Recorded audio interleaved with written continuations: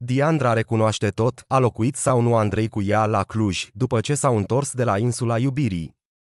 Diandra și Andrei Rotaru au rupt gura târgului la insula iubirii, după ce s-au cuplat din primele zile.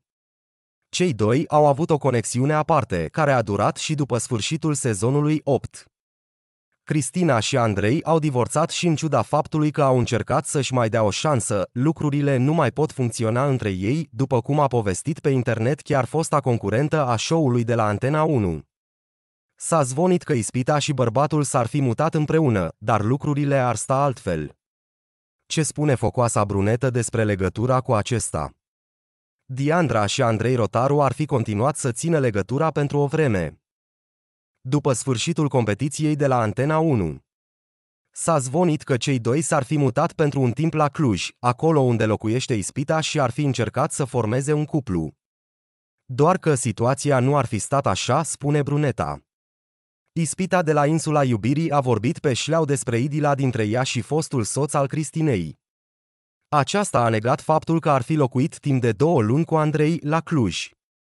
Mai mult decât atât, tânăra spune că cei doi nu au locuit împreună nici măcar o zi, dar două luni.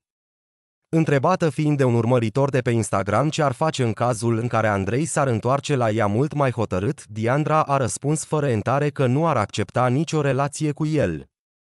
Aceasta a ținut să puncteze că nu ar fi existat nicio potrivire între stilul ei de viață și al lui.